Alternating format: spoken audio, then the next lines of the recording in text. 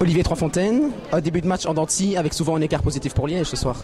Ah bah ouais, mais bon, on savait dès le début de match que ça allait être une, bagarre. Comme le coach a dit, euh, celui qui en voudra le plus euh, pendant le match qui gagnera euh, à la fin. Et bon, même si le jeu était pas, pas très beau à voir, mais c'était plus un combat de tous les instants et on est, sorti victorieux. Quoi. Un derby, c'est toujours chaud. Comment s'est passé celui-ci? C'était très très chaud parce qu'en plus les, arbitres laissaient un peu faire donc on voyait des, petits coups qui se perdaient, enfin toujours dans, le sens du jeu. Mais c'était très très physique et très très intense comme un, pas en défense etc. C'était une grosse intensité. Mais, euh, mais, franchement, je pense qu'on peut être fier d'être sorti d'une victoire comme ça parce qu'on a montré un bon état d'esprit euh, en équipe et, euh, et, individuellement pour gagner le match.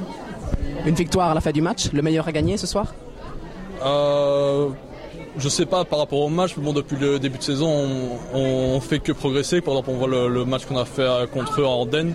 Je pense que tout, ça a tout trop de Liège qu'on a vu.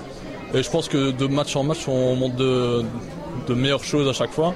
Et euh, je pense qu'on n'a pas fini de surprendre des autres équipes. Merci Olivier.